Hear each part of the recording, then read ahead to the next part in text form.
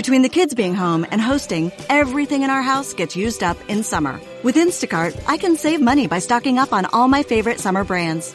I save time by getting everything delivered in as fast as an hour. And I save myself a sink full of dirty dishes by stocking up on paper plates for the annual summer cookout. Save more on summer essentials? Spend more time enjoying summer. Add summer to cart. Download the app to get free delivery on your first three orders. Offer valid for a limited time. Minimum $10 per order. Additional terms apply.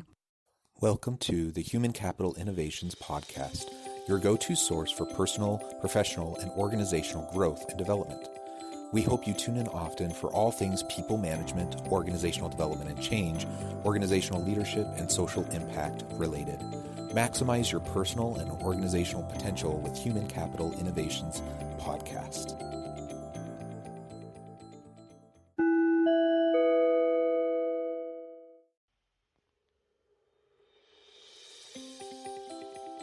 Welcome to the Human Capital Innovations Podcast. In this HCI podcast episode, I talk with Wayne Mullins about leadership and the connection with company culture.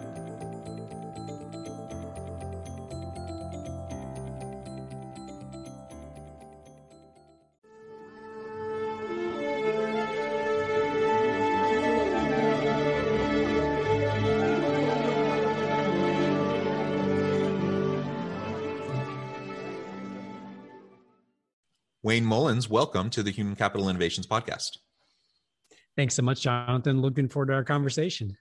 Yeah, I'm excited to have a chance to chat with you today. We're going to be focusing on a passion of mine, and that is leadership and the connection of, of effective and impactful leadership to company culture, how leadership affects the culture, but also how the culture and the dynamic of the team impacts styles of leadership and how we can be most effective with our people and i think it's a kind of a reciprocal thing it it, it goes both ways and and both tend to influence the other um, so we'll have a really great conversation around that. As we get started, I wanted to share Wayne's bio with everybody.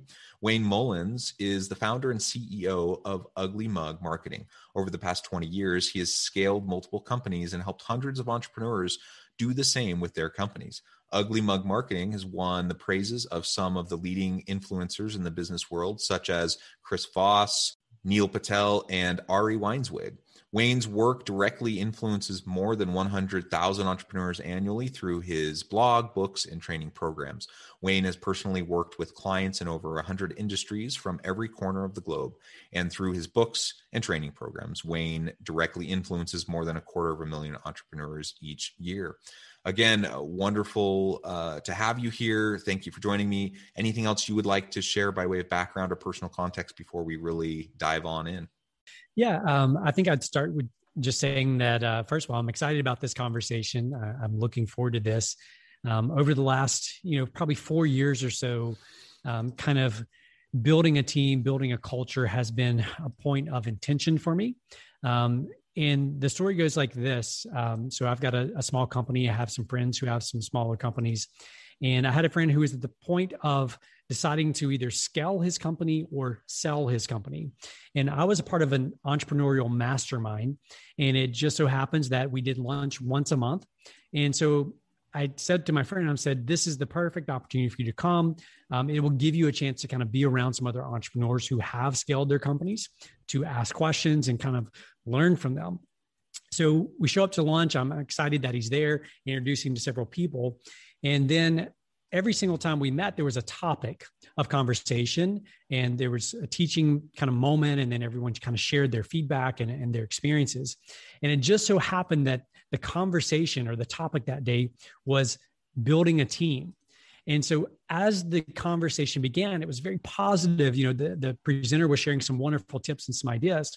But then for the next hour, entrepreneur after entrepreneur went around the room and shared their challenges and their frustrations with their employees and with the people on their team. And as a result of this, we leave a little bit later. I call my friend and say, So, you know, what'd you think? He said, I've decided I'm going to sell my company. I don't want to have to deal with building out a team. And so it was from that moment on that was really kind of a big pivot moment for me. It, it kind of dawned on me that there has to be something that people who build great teams, people who have great cultures, there has to be something that they're doing different than that group of entrepreneurs. And don't get me wrong, there are a lot of successful entrepreneurs in that room, but they had to be doing something different. And so that began this new quest for me, so to speak. Well, that's that's super interesting. I appreciate that background, and and I agree. I mean, these these are the passions that I also hold. Uh, I think it's just so important for us to always be thinking about effective leadership, to be thinking about our organizations, our cultures, uh, how we interact with our people, uh, and, and sometimes we we do that well, and other times we undermine ourselves usually inadvertently um, that you know we end up hurting our own chances of, of having a dynamic team um, that's producing and innovating and doing really great things. Well as, as we launch on into the conversation I, I thought first you could share with listeners really your approach to leadership um, maybe three words that you would use to describe your leadership your general approach and why Sure. Three words would be tough. Um, I would say my simple answer would be that leadership is about serving. So that may be four words there, but um, it's about serving. And I think so often in particularly in American culture, um, we are almost taught or we almost kind of witness from the outside that it's the opposite, that the further up we go in an organization, um, the more people will have under us to do all the things we don't want to do or to quote unquote serve us. And what I've discovered over time is that's absolutely the the polar opposite's true that the further up we go the more responsibility we have and the fewer rights we have. So in other words i'm you know quote unquote the founder the ceo of this company. Um, so i can quote unquote in, on, in theory on paper do whatever i want to do but if i want to build a culture a highly accountable self accountable culture I can't do that, right? I have to be intentional about building this culture. Um, I would say that if you're unintentional about building a great culture, then you are intentionally building a bad culture. I think that's interesting, and, and it it's a good reminder that culture will emerge when you have two or more people together, right? When when you have people interacting, there will be a culture, uh, and the question isn't whether or not there will be a culture it, it is what kind of a culture do you want to have and will you allow for just anything to emerge that may be unhealthy that may be unproductive or are you going to be really proactive and strategic in shaping and honing and maintaining and uh, perpetuating a really psychologically safe empowering healthy culture that ultimately is going to help everyone thrive. Completely agree jonathan. What's interesting if you look back at the the root word the latin word for culture it actually shares the same as cultivate right? So it comes from the same root latin word. And we think about cultivating the soul what a farmer would do to cultivate the soul it involves work it involves being intentional it involves breaking up what maybe clay and, and other rough soil and kneading it and making it soft, supple soil so that it can take a seed so that the seed can then grow and flourish.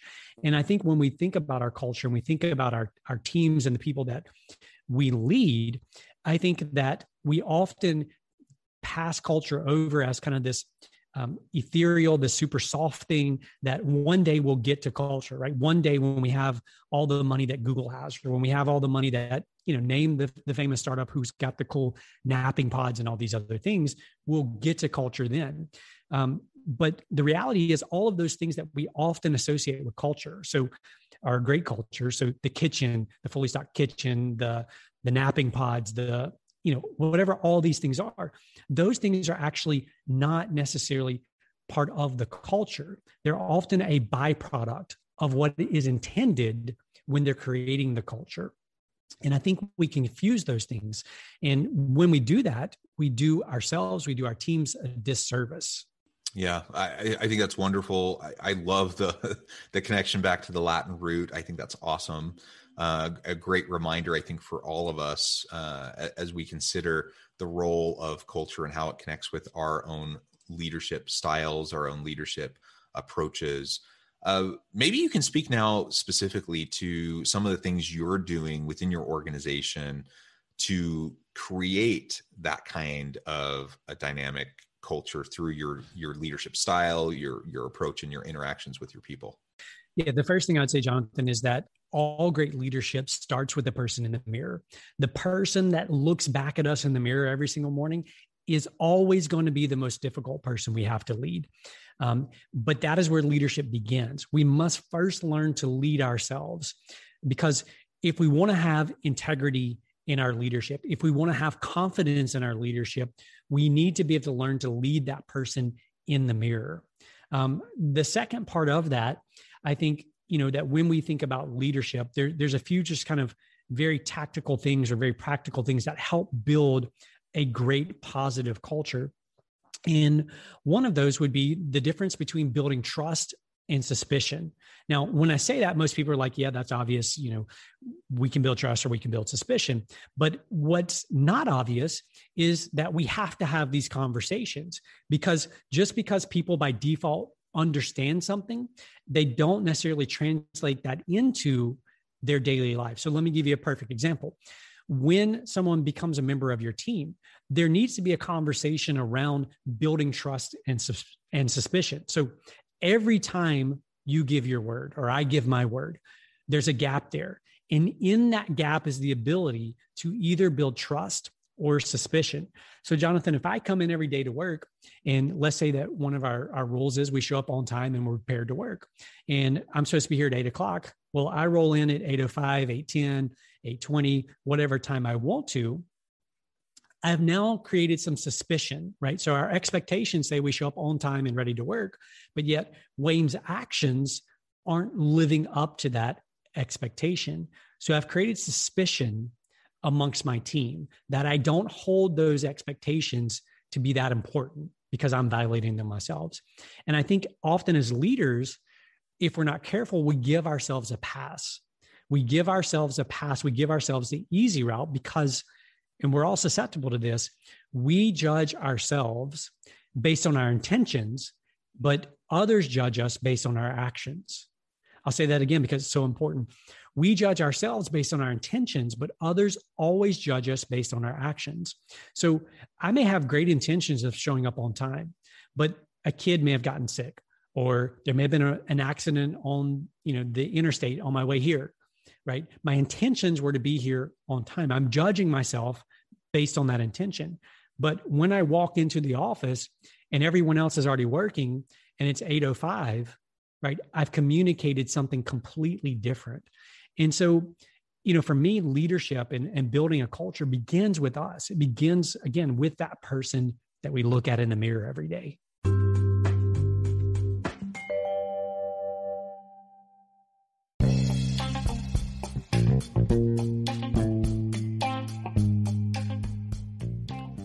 Excited to announce the publication of my new book from HCI Press, The Alchemy of Truly Remarkable Leadership Ordinary, Everyday Actions That Produce Extraordinary Results. Consider how the nature of work has shifted over the past 50 years. With increased globalization, rapid technological advancement, and the shift in economic composition, the average job of today looks very different than the average job of 50 years ago. What will the jobs and organizations of tomorrow look like? Moreover, what does this all mean for organizational leaders? What are the core competencies and capabilities of organizations and their leadership that are prepared for continued disruption and geopolitical and socioeconomic shifts? Regardless of what the future holds, increasingly, leaders need to be socially minded, data driven, decisive, champions of talent, and disruptors of the traditional notions of leadership, teams, organizations, and work. The alchemy of truly remarkable leadership will help you to explore your own leadership competencies and capabilities and consider ways to apply and implement them into your workplace and personal life.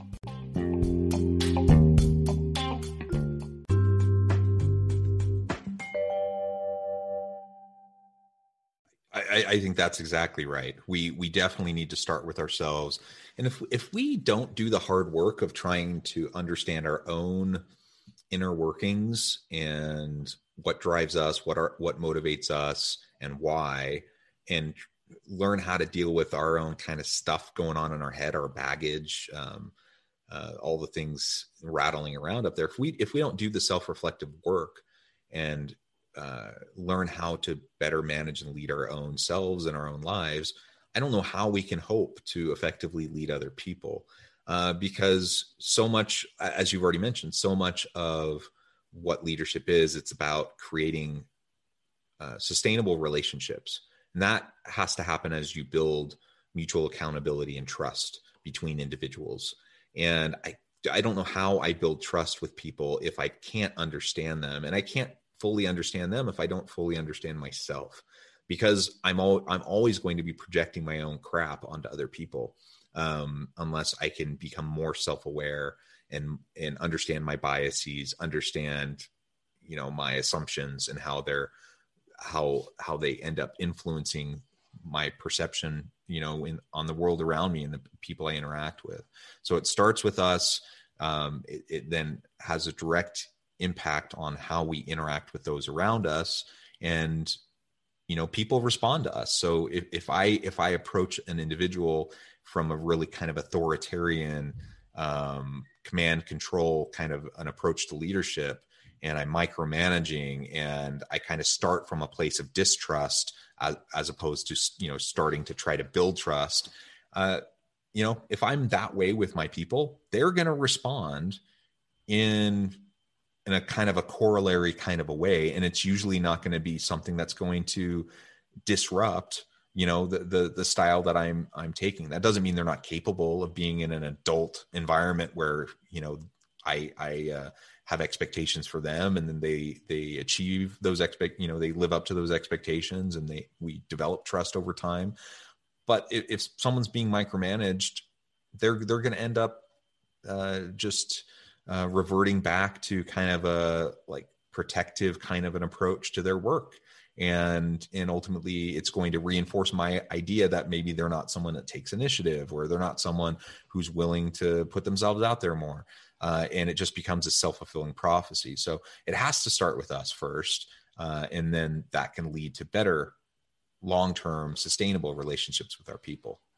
Yeah absolutely. And you know i think when it comes to you know that trust or suspicion i think that we all begin relationships particularly on a team we begin with the default of trust. We want to trust the people on our team. Um, you know hopefully that we've had some decision or some ability to help sculpt that team shape that team.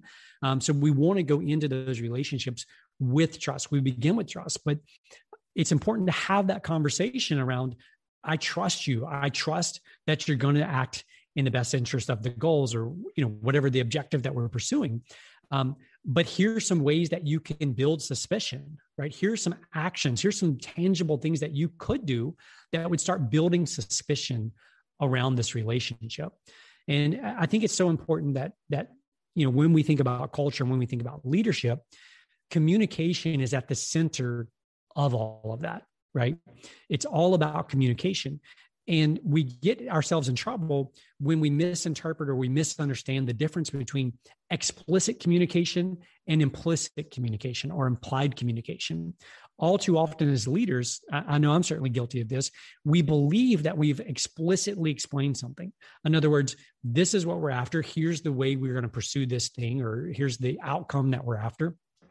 And come to find out a little bit later, we've really only implicitly explained all of the pieces and components are necessary. So, one of the things that I often say is that if you find yourself frustrated, if you find yourself having to micromanage, chances are very good that you didn't explicitly communicate what was required. You know, I think by and large, most people, the vast majority of people, want to show up every day and they want to do a good job. And so if something is not happening there, right? So they're not meeting those expectations. The first step is again, like like we've already talked about, to begin with us and say, okay, when furious, so I'm furious about the fact that things have gone off the tracks here. The results are not where we wanted them to be. When furious, get curious. Did I explain explicitly what we were after? Were they clear on the outcome that we were pursuing? And when you learn to analyze your communication through that lens, through the lens of explicit versus implicit, it removes a lot of that frustration. It removes this need to constantly micromanage because we've given them the outcome that we're after. We've set a very clear picture before them. And then we're able to remove ourselves to get out of the way and let them run towards that progress or towards that direction.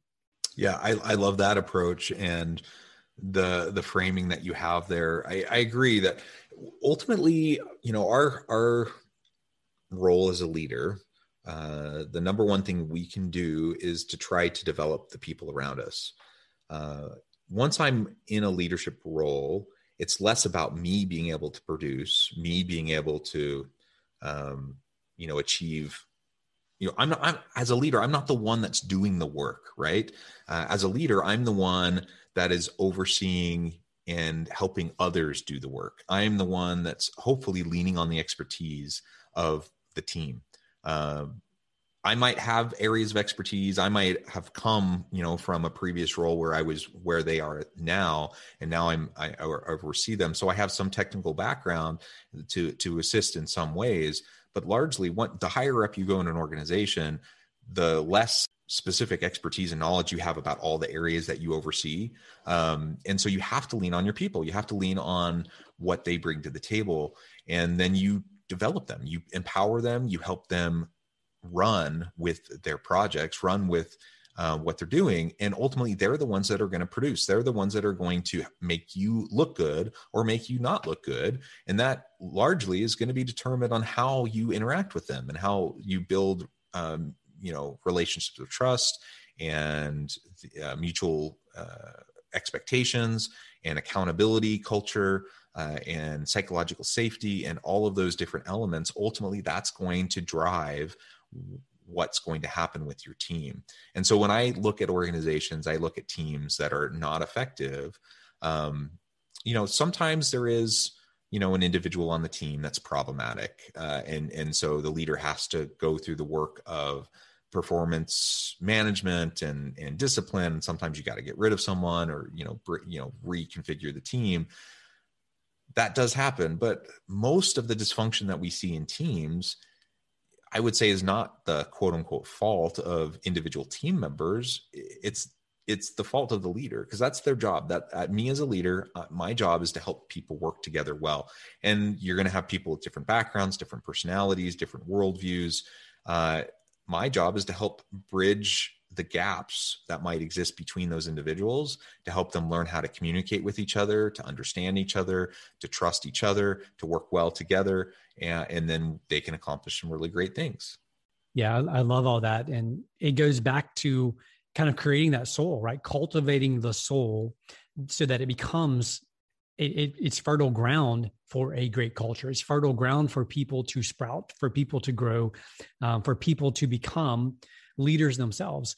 And one of the things that I love to, to talk about and think about as it relates to leadership is this you know, everyone loves the idea or the notion of being a leader or talking about leadership principles and, and ideas. But in order to be a leader, by default, there has to be a follower, right? I think it was John Maxwell who said that if you think you're leading but no one's following, you're just going for a walk. And, you know, when we think about following, a great place to start in terms of analyzing your own leadership is to say, who are some people that I love to follow? And I don't mean that like on social media, although you can follow people on social media. What I mean by that is who is someone that you look up to, someone that you respect in such a way that you either A, currently follow them, or B, you would be willing to follow that person. And then take just a few minutes and list out what are the attributes, what are the characteristics that make this person such a great leader, such a great person that I'm willing to follow them. And that is often a very good litmus test to begin and to kind of analyze our own leadership. Look at those that we respect in leadership positions. What is it about them that we admire? What is it about them we respect? And what are the reasons we are willing to follow them? And then we can we can take those same things and flip those and begin implementing, working on those things in our own lives. Yes, yes, absolutely. Thank you, Wayne. It has just been a real pleasure talking with you and just picking your brain a little bit and, and hearing all of your wonderful insights in relation to leadership and culture. I, I want to be respectful of your time. I notice we're getting close to the end of our time together. But before we close, I wanted to give you a chance to share with listeners how they can get connected with you, find out more about uh, your organization, the work that you're doing, and then give us the final word on the topic for today. Sure, absolutely, Jonathan. Um, so the easiest place for people to, to find me is just on our website. It's just uglymugmarketing.com. Um, all of our social channels, my email address, phone numbers, all that they can find right there on the website. Um, and as it comes to leadership, um, kind of a parting thought on leadership and culture would just simply be this that, you know, it's the little things that over time make the big difference. And to put it more succinctly, it's this consistency creates miracles. Consistency creates miracles. Um, so it's not about, you know, I think too often in life we we look at great leaders and we think that there was this magical transformation that they went from average joe or average jane to amazing leader you know in kind of a, a, short window or a short period. And the reality is if we step back and really look and we hear their stories what we'll discover is is they took very consistent actions day in and day out to hone and to build their leadership skills. And, and the same is true with culture.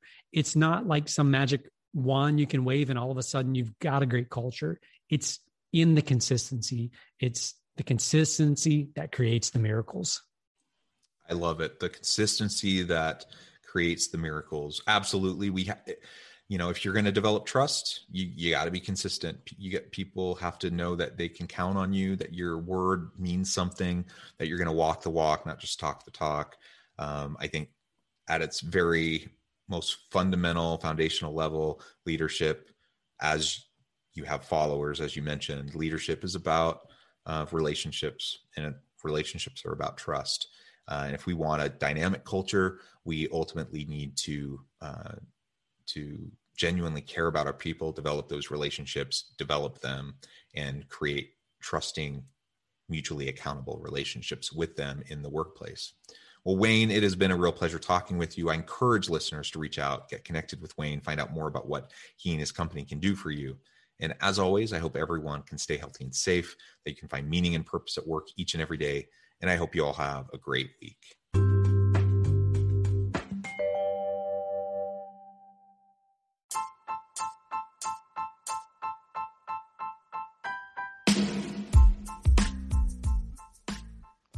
We are excited about the launch of HCI's new magazine, Human Capital Leadership. Human Capital Leadership is a free, interactive e-magazine designed to help individuals, leaders, and organizations find innovative approaches to maximize their human capital potential. We will be publishing issues quarterly in August, November, February, and May. Check out the first issue and let us know what you think.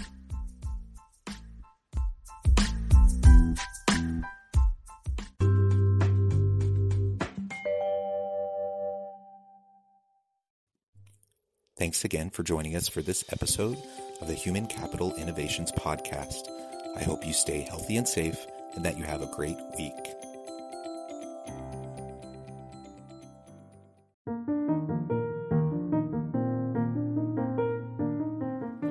Check out our new weekly LinkedIn newsletter, Alchemizing Human Capital, exploring industry trends via original research and interviews with executives and thought leaders from across the globe. We look forward to having you join us.